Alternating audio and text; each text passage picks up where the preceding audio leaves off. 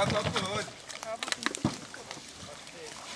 В борьбе с бобрами все средства хороши. При помощи лодки спасатели извлекают стволы упавших в свиягу деревьев. На помощь им приходят водители КАМАЗов и УАЗов. Опасный затор неподалеку от села Луговое обнаружил глава железнодорожного района Владимир Трофимов и сразу написал письмо на имя главы города. Стволы упавших деревьев были подточены бобрами. Чтобы весной не пришлось спасать утопающих, на расчистку отправились сотрудники управления гражданской и инженерной защиты. Здесь нужно расчистить э, данный участок. Это примерно где где-то 700 квадратных метров.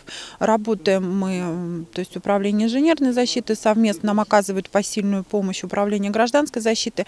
Мы на верхней береговой части, то есть ведем вырубку деревьев, а, которые мешают которые впоследствии могут также упасть в данное русло. Эффективность подобных мер доказана зимней расчисткой русла Сельди, когда удалось снять угрозу подтопления поселков Сельди Дачный. Все работы у Лугового планируется выполнить за 10-12 дней. Всего предстоит расчистить 700 квадратных метров поверхности. Анна Тищенко, новости Ульяновской правды.